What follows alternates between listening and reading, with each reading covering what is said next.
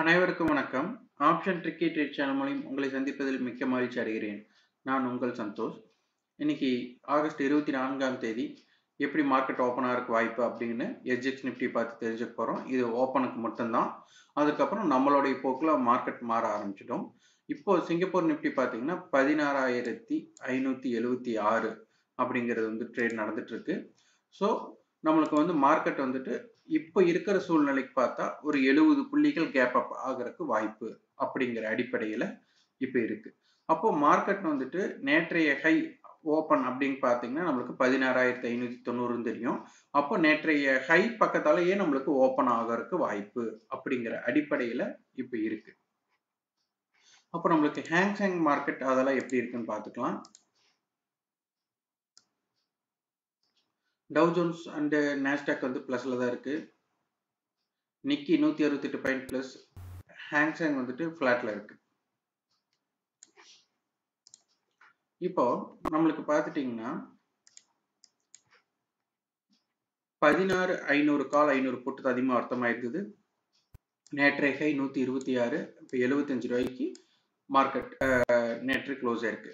அப்போ இன்று எழுபது புள்ளிகள் பாசிட்டிவ் அப்படின்னு நம்மளுக்கு இம்பேக்ட் ஆச்சுன்னா நம்மளுக்கு இப்போ வந்து பதினாறு ஐநூறு கால் அப்படிங்கிறது பார்த்தீங்கன்னா இப்போ எழுபது புள்ளிகள் பாசிட்டிவ் அப்படின்னா நம்மளுக்கு வந்துட்டு இது நூற்றி பத்து ரூபாயிலிருந்து நூற்றி இருபது ரூபாய்க்குள்ளே ஓப்பன் ஆகிறதுக்கு வாய்ப்பு.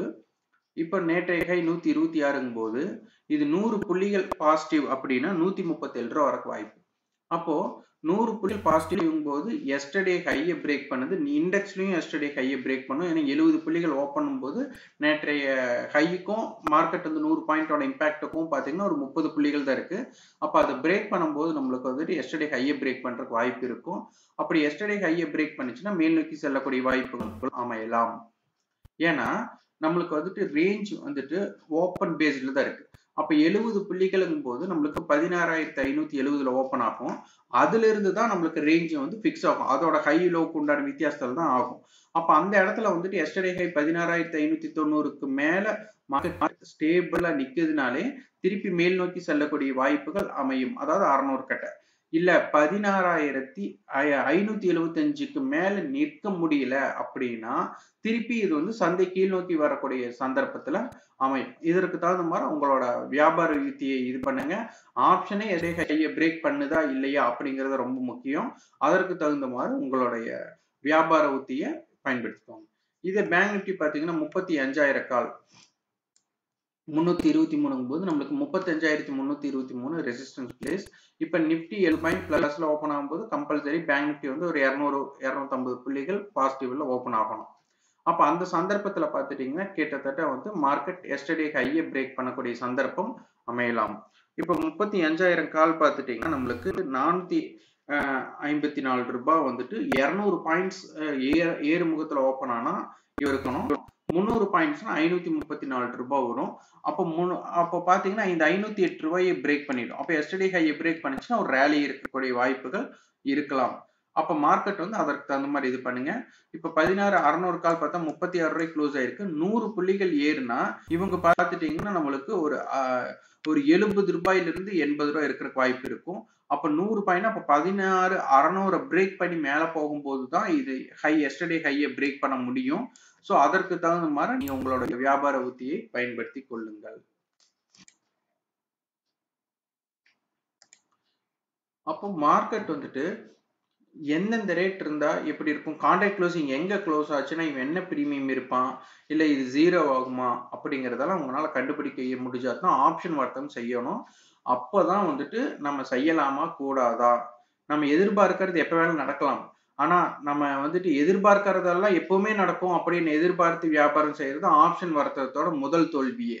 அதனால வந்துட்டு நம்மளுடைய கணக்கீட்டின்படி இருக்கிறதா? இருந்தால் அதனுடைய முதலீட்டு மேலாண்மைக்கு நம்ம செய்யலாமா செய்யக்கூடாதா? அப்படின்ற ஆராய்ச்சி செஞ்சுதான் நம்ம செய்யணும்.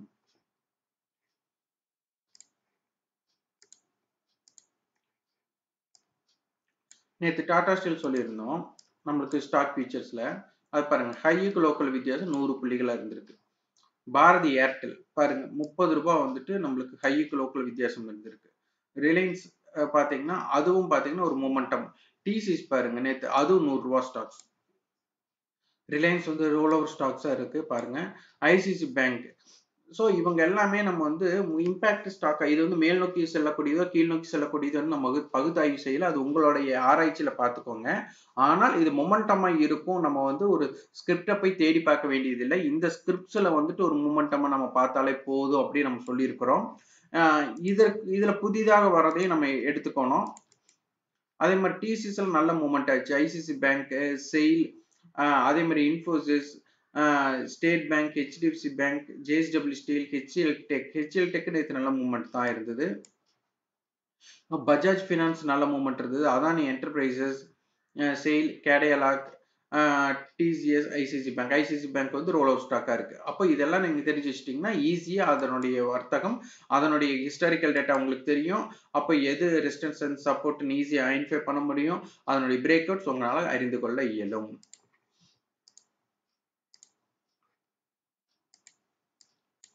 இப்போ இது பார்த்தீங்கன்னா நம்மளுக்கு டாடா ஸ்டீல் ஆயிரத்தி நானூறு கால் கொடுத்துருக்காங்க. அப்போ ஆயிரத்தி நானூறு ரெசிஸ்டன்ஸ் அதை பேஸ் பண்ணியிருக்கோம். பஜாஜ் ஃபினான்ஸ் ஆறாயிரத்தி எட்நூறு கால் ஆறாயிரத்தி எட்நூறு கீழே ஆறாயிரத்தி எட்நூறுக்கு மேலே போனாலும் ஆறாயிரத்தி எட்நூறு கீழே க்ளோஸ் ஆனதுனால இது வந்துட்டு ஆறாயிரத்தி எட்நூறுங்கிறது ரெசிஸ்டன்ஸ் இனி ஆறாயிரத்தி எட்நூறுங்கிறது இப்போ சமீபத்துக்கு கடக்குமா அப்படிங்கிறது ஒரு டவுட் தான்.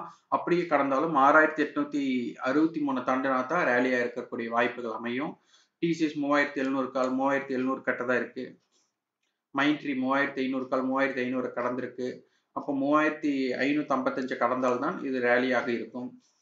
டாடா ஸ்டீலுக்கு ஆயிரத்தி நானூற்றி தொடர்ச்சி டாடா ஸ்டீல் இருக்குது டிசிஎஸ் இருக்குது டாடா ஸ்டீல் பஜாஜ் ஃபினான்ஸ் ஆறாயிரத்தி தொள்ளாயிரம் கால் டிசிஎஸ் எஸ்கார்ட் பார்த்தீங்கன்னா ஆயிரத்தி முந்நூறு கால் இருக்குது இன்னும் ஆயிரத்தி முந்நூறு ரீச் பண்ணல. ஆயிரத்தி முந்நூறு பார்த்தீங்கன்னா ரெண்டு ரூபாயிலிருந்து ஏழு ரூபாய் முப்பத்தி மூணு ரூபா ஹை போயிருக்கு. ஸோ இது எவ்வளோ தூரம் இம்பேக்டாக இருந்திருக்குன்னு பாருங்கள் Bharti Airtel Tata steel state bank நானூற்றி முப்பது கால் இதெல்லாம் அதிகமாக அர்த்தமாயிருக்கு. ஸோ இந்த ஸ்டாக்ஸ் வியாபாரம் செய்கிறவங்க வந்துட்டு இந்த ஸ்டாக் ஃபியூச்சர்ஸ்லையும் ஸ்டாக் ஆப்ஷன்ஸ்லையும் இருக்கிறத வந்துட்டு எப்படி வர்த்தகம் செய்யலாம்னு நீங்கள் தெரிந்து கொண்டீங்கன்னா ரொம்ப எளிமையாக ஆப்ஷன் வர்த்தகத்தில் வெற்றி பெறலாம். இதற்குண்டான கட்டண பயிற்சி கொடுத்துட்ருக்கோம் விருப்பம் தொடர்பு கொள்ளுங்க. தொடர்பு கொள்ள வேண்டிய தொலைபேசி எண் nine eight four two six one zero nine zero eight மற்றொரு number eight one double four double two zero five three two இந்த வீடியோ உங்களுக்கு பயனுள்ளதாக இருந்ததுன்னா லைக் பண்ணுங்கள் ஷேர் பண்ணுங்கள் சப்ஸ்கிரைப் பண்ணுங்கள் கண்டிப்பாக உங்களோட ஃபீட்பேக்கை கமெண்ட் பாக்ஸில் பதிவு